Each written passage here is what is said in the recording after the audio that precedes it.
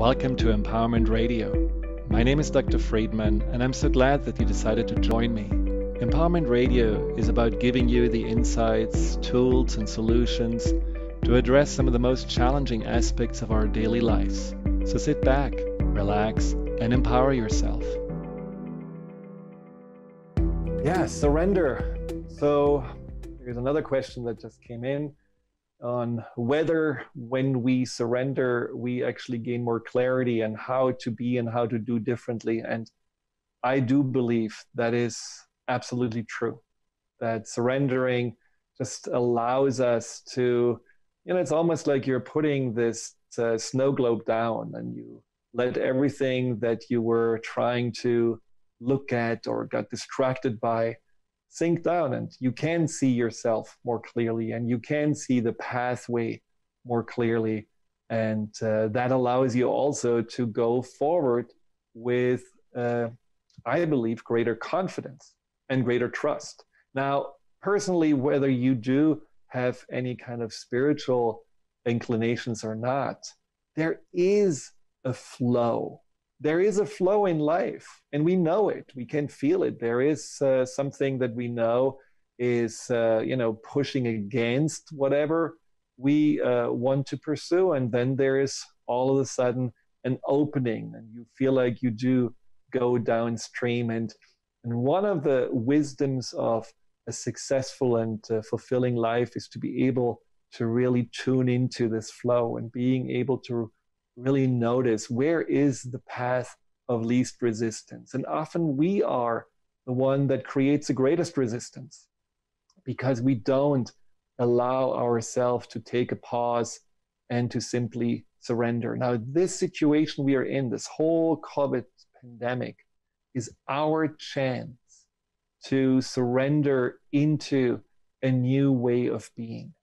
And I'm going to read you later on a quote by uh, Brené Brown that I really find inspirational and so true for these times, which is about letting go of this idea of what normal is and surrendering into something that may be much more uh, appropriate and fulfilling than that old thing that we called normal. And but it requires us also to accept right now this new uh, reality that we are all in now we have been surrendering since we were little babies. You know, we just don't realize how good we are in surrendering.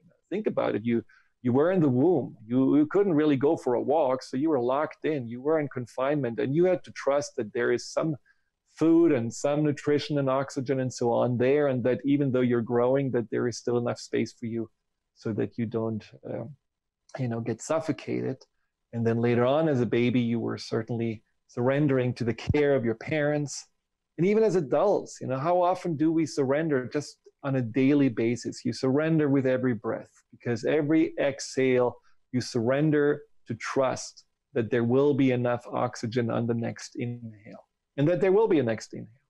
You surrender when you go to sleep. You surrender everything that you felt like you had to control or were thinking of or busy about. You just surrender, you put it down, and let sleep carry you into that land of dreams. You surrender to a sneeze, you surrender to maybe hunger or thirst because you just accept this is what my body right now needs. You surrender when you're at the dentist, right? You cannot necessarily punch the dentist in the face when, you know, he or she hurts you. You surrender when you make decisions in life. You know, I had a good friend who really took some time to surrendering to the fact that he had kids. But once he did accept and surrender, he actually blossomed as one of the best dads I know. We surrender when we're in a relationship, and we surrender when we lose the loved ones through separation or death. We surrender all the time. And so remember times where you felt that some change happened in your life and you were not really sure how you're going to do this change. And then eventually you let go of wishing it to be different. And then you accept it. And then you realize through the acceptance that there was actually a lot to appreciate of that change. And then you realize that through the appreciation, there were new possibilities all of a sudden showing up. All of a sudden, you saw things that you haven't really noticed before and maybe made new connections. And then you realize that there was wisdom in that ability to accept and surrender into whatever you had resisted at the beginning. So, just when you want to practice surrender, allow yourself every day to take a little time to detach from those goals that you put a lot of energy in.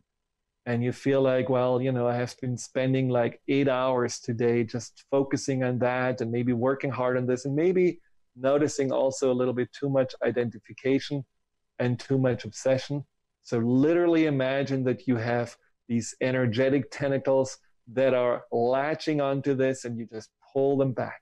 You just allow yourself to go into your own self, in your own confines. And this can be through meditation, this can be through visualization, just letting go and let that, whatever you held onto, float away.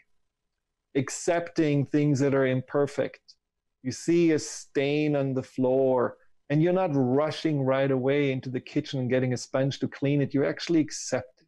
Practice acceptance of the imperfection and trust that you can take care of it later. Doesn't have to be right away. Patience. Practice patience. When you have sent out a text message and it hasn't really been responded right away to, let it go. Surrender into the waiting and being open to receive the answer later. And maybe you're going to notice that you're not so attached to whatever answer it is because you have let it go. You have let go of that pressure around it. And then also appreciating, surrendering into all the goodness in your life and really trusting that life will bring you more goodness when you're open to receive. So let's go into this guided meditation and you can just enjoy these 15 minutes of surrendering.